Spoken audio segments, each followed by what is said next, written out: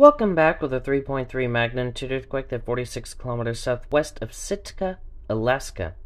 Happened at 6:36, 6:37 p.m. Central Standard Time and a depth of 20.55 kilometers. So, if you happen to have, I doubt anyone felt this quake. Uh, no one felt this. I'm pretty sure no one felt this. Anyways, um, we're not actually done here yet because we got this here this is relatively close proximity to Mount Edgecumbe, but it's likely not related. Um, but yeah, Edgecumbe is one of the more dangerous volcanoes in Alaska, um, considering its average is what Mount St. Helens pulled in 1980.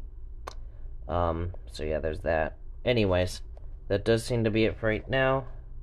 Uh, let's just recap real quick though. 3.3 magnitude earthquake, 46 kilometers southwest of Sitka, Alaska at 6.36, 6.37 p.m. Central Standard Time at a depth of 20.55 kilometers. So with that, that does seem to be it for right now. Stay safe out there. See you in the next video. Bye.